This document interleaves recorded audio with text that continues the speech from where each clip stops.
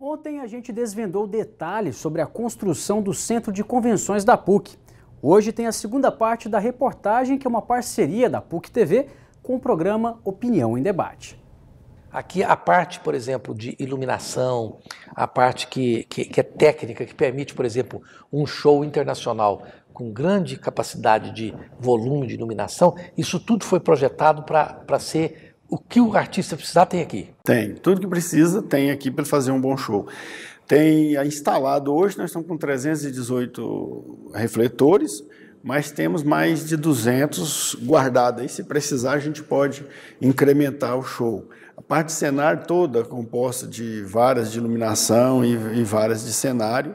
Nós tivemos shows aqui onde as pessoas penduraram mais de 40 peças de cenário nas varas e durante o espetáculo essas varas subiam e desciam com, com aspectos, né, com partes do cenário. Então, vários, vários shows e espetáculos já ocorreram aqui utilizando esses recursos do teatro satisfatoriamente. Nós tivemos uma motivação inicial para o tamanho dessa estrutura, que era muito em razão a universidade tem 16 auditórios, uhum. de tamanhos diversos, 700, 500, 400 lugares. E o que a gente observava, tanto conosco, quanto com a Universidade Federal, quanto com outras faculdades, é que chegava um instante que precisava sair da instituição para ir fazer formaturas, congressos em outros lugares. Congresso de odontologia, medicina, área de educação, sempre procurando outros lugares, nem sempre se comportava e gente vindo de outros estados e países, e, e a estrutura estava um pouco aquém. Então, da parte das formaturas, nós temos que dar um ponto final nisto.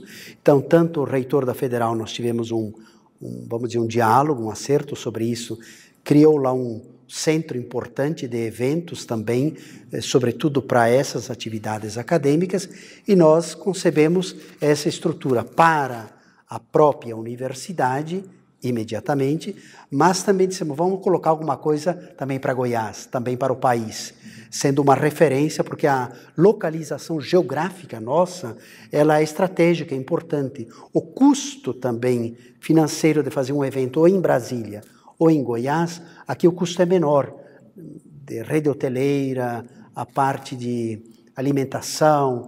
Então, claro que as pessoas podem ter no centro geográfico do país, próximo a Brasília, uma possibilidade importante. Prevíamos também que, de fato, ocorreu, o aeroporto passaria por uma reforma, uma adequação.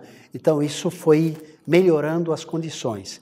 E ainda tinha um, uma, uma medida do centro de convenções que ela era um pouco menor.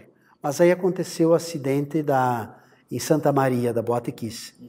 E todo o projeto, nesses 30 meses, teve que ser reformulado do, dos alicerces ao telhado, porque tivemos que fazer ele com grandes vazões de corredores laterais também, gigantescos, isso aumentou enormemente.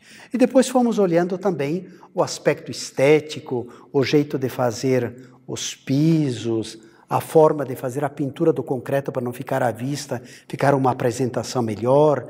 Então, claro que um centro de conferências bonito, ele também tem a sua, sua linguagem e atrai, deixa um conforto maior a quem aqui participa. Nós procuramos fazer uma visita geral em todo o país, além de, claro, visitar por internet outros lugares do mundo, mas, sobretudo, a equipe que estava desenhando, o arquiteto principal, professor Rui, e a equipe ia aos teatros em outros estados do Brasil para ver que aspectos podia inclusive corrigir do que havia de problemas nesses locais. Nós podemos afirmar que no Centro-Oeste nós temos uma das maiores estruturas teatrais do mundo.